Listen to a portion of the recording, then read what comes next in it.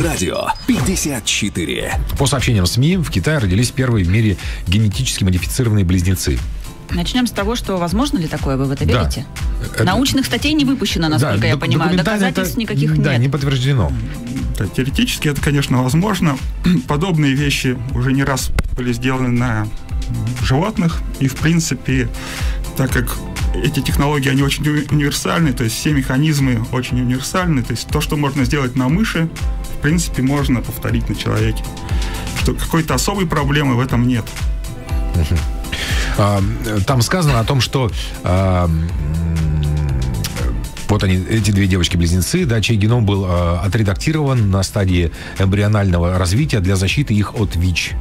По крайней мере, вот так говорят э, э, руководившие исследованием ученые. Ну, на самом деле, довольно странная постановка вопроса, в принципе, потому что от ВИЧ, в принципе, можно зародиться, за- э, защититься какими-то другими способами, мы все их прекрасно знаем. В то же время существует множество наследственных болезней, от которых пока не найдено вот методов лечения, а редактирование генома это один из потенциальных таких возможностей лечить именно наследственные болезни, которые действительно есть, от которых люди страдают, умирают. А тут же такая постановка странная, защитить их от ВИЧ, то есть в будущем каком-то, да? И вообще нас- от всех заболеваний, Да. я так понимаю. Нет, вот это конкретно то, что сделали сейчас. Это защита от ВИЧ. То есть от э, конкретного вируса. То есть они повредили конкретный ген, через который, то есть через белок, который он кодирует, ВИЧ пр- проникает в клетки. То есть если он поврежден, ВИЧ такие клетки не заражает.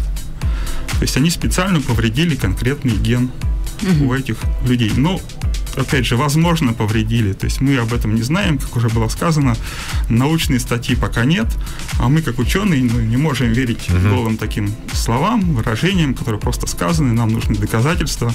Всегда так было и так будет. Поэтому мы ждем, лично мы ждем вот этой вот статьи, где будет описание эксперимента, как это было сделано, доказательств того, что было сделано. То есть все это доказуемо, то есть нужно проводить эксперименты. То есть вот этот ученый, который это сделал, да, он должен представить факты. Пока что, конечно, говорить об этом как о факте каком-то невозможно.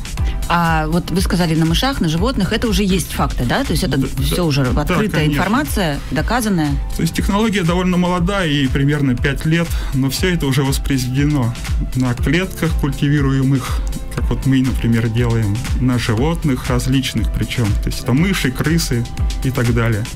На растениях. И это не только ВИЧ. Да, конечно, это не только ВИЧ, Какие это еще? любые совершенно. То есть вот геном огромный, множество разных генов, там около 25 тысяч генов у человека, примерно столько же у мыши.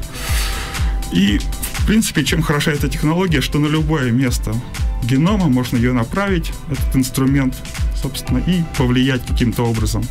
Разнообразие огромно, то есть пытаются лечить и наследственные болезни, такие как болезнь Кентингтона, спинальная мышечная атрофия, э, дистрофия Дюшена, вот такие вот заболевания, на самом деле, тяжелые. Есть модели крысиные, например, мышиные модели этих болезней. То есть они воспроизводят вот эти состояния, которые есть у человека. И с помощью таких технологий удалось на самом деле помочь, ну, скажем, этим крысам. То есть они как модельный объект выступают здесь просто-напросто, чтобы проверить, действительно ли технология работает, насколько она безопасна, эффективна, все эти эксперименты необходимы. А тут люди вот в чем, почему так вот такая реакция бурная на этот эксперимент, который был сделан. Дело в том, что любая такая технология должна быть проверена, перепроверена 100 там, раз, больше раз, чтобы она могла быть применена на людях. Пока что этого не сделано. То есть вот эта технология до этого, до этой стадии, она не дошла.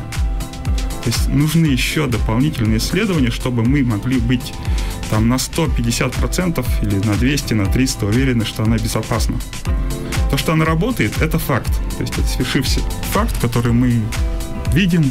То есть это не фантастика. Да, это не фантастика, это вот прям реальность. Это реальность сегодняшнего дня.